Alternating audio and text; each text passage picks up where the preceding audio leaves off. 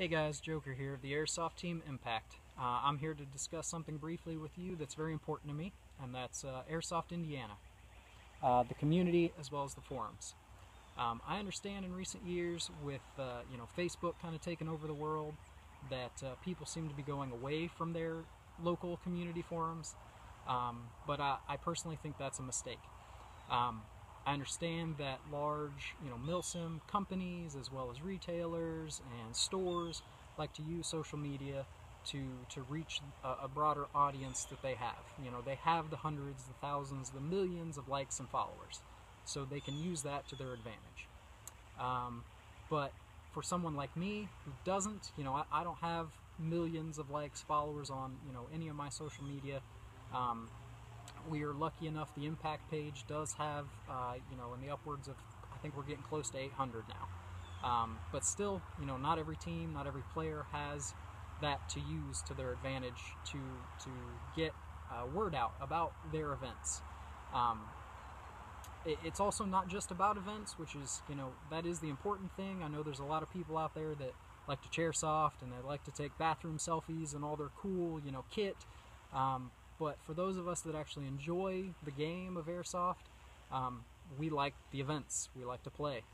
Um, so local forums that have all of those, like Airsoft Indiana, everything from the large milsim events to the, the smaller quote-unquote backyard games, um, even the, the events hosted by private field owners such as myself.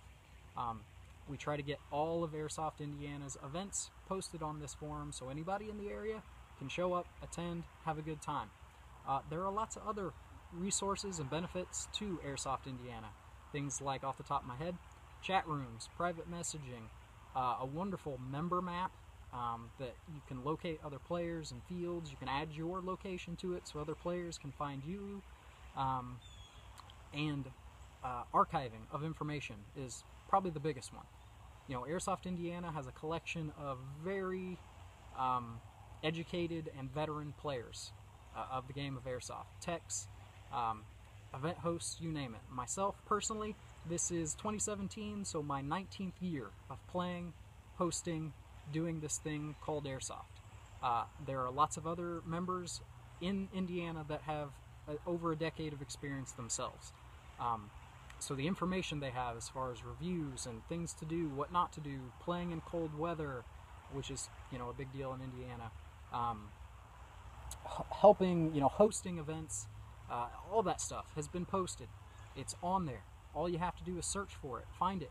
If you're a new player, you've got questions, chances are it's been answered. Um, so, you know, do yourself a favor, veteran player or new player or event host or anywhere in between, get on airsoft-indiana.com, sign up, free, easy, simple to use, post your events, post your que questions, use the search function, get out there, bring people back to the community, get talking to each other. That's why we're all here. We want to shoot at each other, we want to have a good time.